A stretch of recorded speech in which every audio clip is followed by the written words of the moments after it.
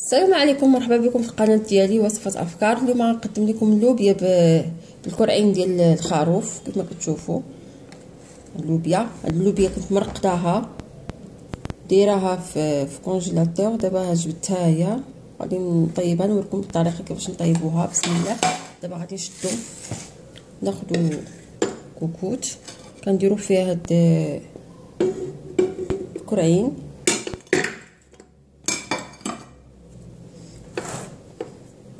كنديروا هاد لاصوص مطيشة. درت ثلاثة مطيشات صغار مع واحد البصله صغيرة وشوية مطيشات الحك خلطتهم هكايا طحنتهم وخلطتهم كما كتشوفوا وغنلوحوها هنا. كنجمعو كلشي.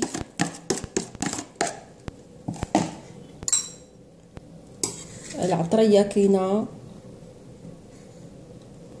التحميره عاشق صغيره عاشق صغيره ديال الكمون عاشق صغيره ديال الملح. الملح حسب الذوق عاشق صغيره ديال خرقوم بلدي البزار وسكنجبير كنلوحو كلشي هنا.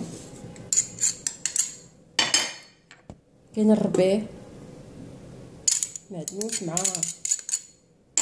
كاين تومة معجونه والزيت.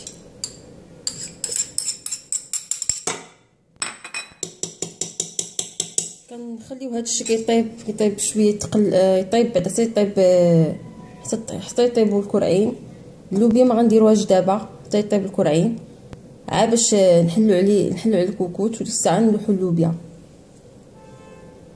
نديرو الماء الكافي باش يطيب بعدا الكرعين ومن بعد باش نحطو اللوبيا حتى طيب حتى يطيب الكرعين باش نديرو اللوبيا.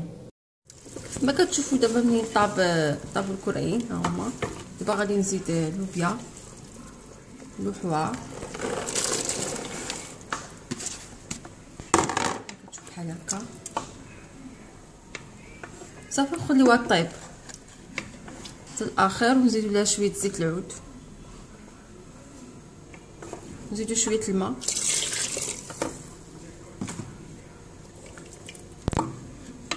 صافي ونسدو عليها حتى طيب اللوبيا بالكل ها هو وجد نتمنى تعجبكم هذه الوصفه الا عجباتكم ديروا لايك بالصحة والراحة.